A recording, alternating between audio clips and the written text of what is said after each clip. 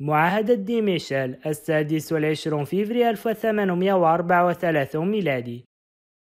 السلام عليكم. مرحبا بك على قناتي.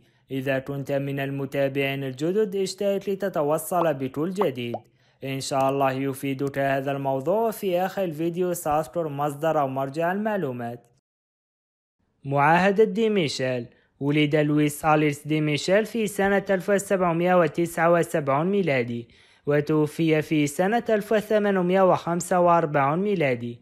قدم من الجزائر في الثالث والعشرون أفريل 1833 ميلادي.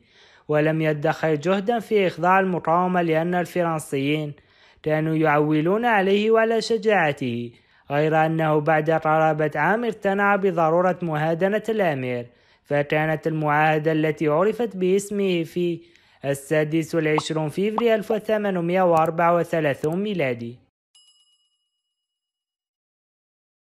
لقد اعترفت فرنسا من خلال هذه المعاهدة بدولة الأمير عبد القادر وأعطته حق تنظيم الجيش وتعيين خلفاء له في الولايات التابعة له إضافة إلى حقه في التمثيل الدبلوماسي وحرية التجارة وشراء السلاح وافتداء الأسرى.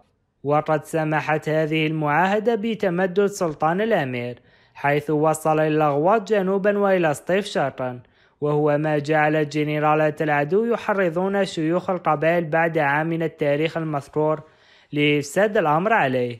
وبذلك تم خرق هذه المعاهدة فعاد الطرفان إلى الحرب من جديد. اللهم صل على محمد وعلى آل محمد كما صليت على إبراهيم وعلى آل إبراهيم إنك حميد مجيد. اللهم بارك على محمد وعلى آل محمد كما باركت على إبراهيم وعلى آل إبراهيم إنك حميد مجيد. اللهم صل على محمد وعلى آل محمد كما صليت على إبراهيم وعلى آل إبراهيم إنك حميد مجيد. اللهم بارك على محمد وعلى آل محمد كما باركت على إبراهيم وعلى آل إبراهيم إنك حميد مجيد.